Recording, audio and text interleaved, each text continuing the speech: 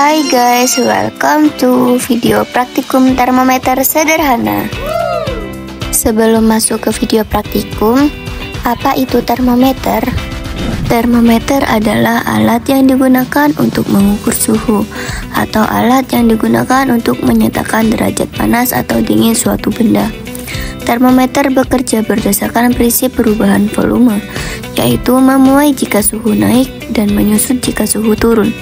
Zat muai yang digunakan sebagai bahan pembuatan termometer dapat berupa zat cair, gas, maupun zat padat.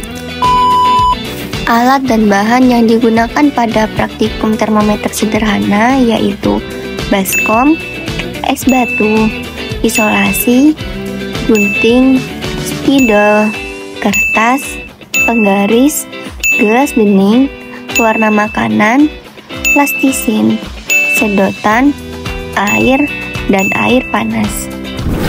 Membuat skala dengan kertas A4 dan dikasih tanda menggunakan spidol hitam. Menyiapkan air di dalam baskom, lalu campurkan air dengan pewarna makanan sampai merata. Memindahkan air yang sudah berwarna merah ke dalam botol bening sampai separuh botol. Memasukkan sedotan bening ke dalam botol hingga menyentuh dasar air. Menutup rapat botol menggunakan plastisin dan pastikan tidak ada udara yang keluar.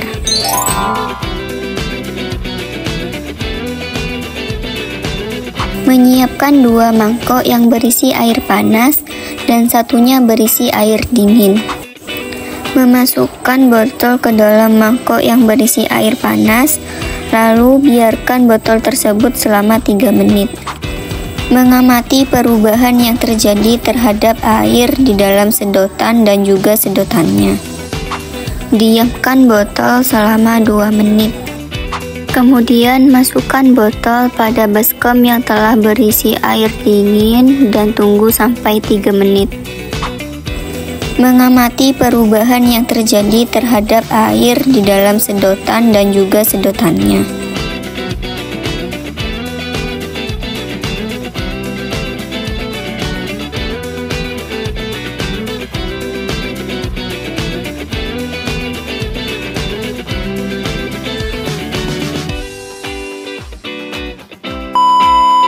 Adanya pemuaian pada cairan yang terdapat dalam satu wadah, maka akan menyebabkan tekanan pada permukaan cairan, sehingga cairan dalam sedotan akan naik ke atas, seperti halnya pada saat termometer menunjukkan skala pada umumnya.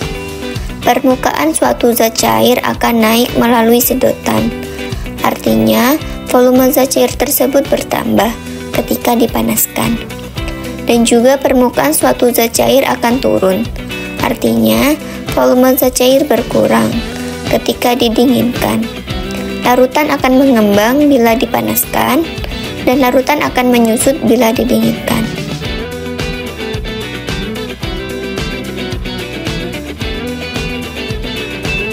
Subscribe to my.